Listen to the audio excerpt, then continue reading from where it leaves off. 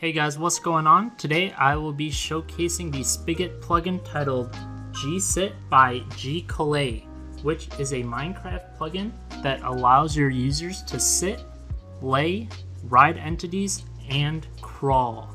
So again, in my opinion, this is the most updated and best plugin for these type of features.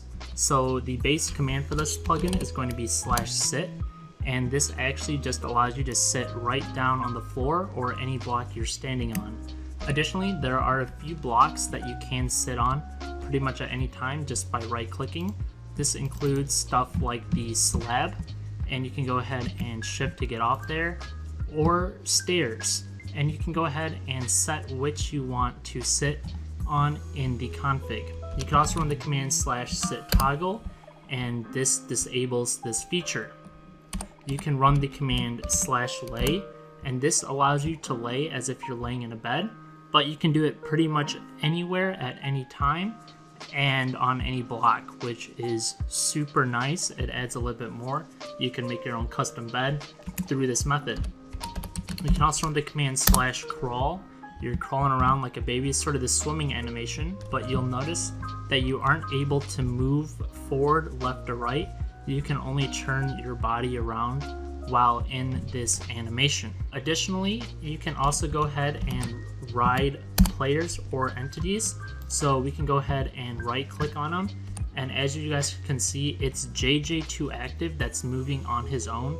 I'm not controlling him. When you're riding a user or an entity, you actually do not have control over them. You're sort of just there for the ride. Same with riding something like a chicken. We could do slash ride in front of it and boom, we are riding the chicken and it's just sort of moving all on its own and we're just sort of following it. This can be enabled or disabled within the config for the plugin. Now I will go ahead and showcase a little bit of the config and show what you can do with it. To access the config files, you're just going to go into your plugins folder. You're going to want to click on the gsit folder and then go to config.yml there you got basic stuff such as check automatically for updates. If you want to set specific sit materials such as stairs, slabs, carpet, and snow. And this is blocks that can be set on by clicking.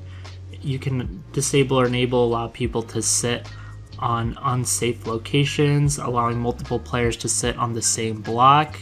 Custom message for sitting, you can allow players to sit on players that can be set to true or false. I actually do like having it set to true, so we can go ahead and set it to that.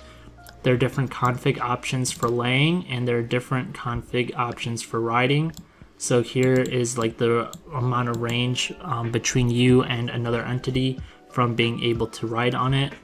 And then um, there's some blocked and other stuff as well, such as a world blacklist and material whitelist. But overall, it's super simple and straightforward, which I love. Once you make any changes, you can just hit save. Well guys, that concludes my plugin showcase for the plugin GSIT. I'll leave a link to download this plugin down in the description below, along with my server IP and Linktree Barbercraft down in the description below as well. Thanks for watching everybody, be sure to like, comment, and subscribe for more Minecraft content and I'll see you guys later.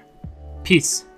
Today's video is brought to you by the Songoda Marketplace, a great website for server owners to get high quality premium Minecraft plugins for their server. Songoda promotes fair business practices and is constantly improving their website based off of user feedback.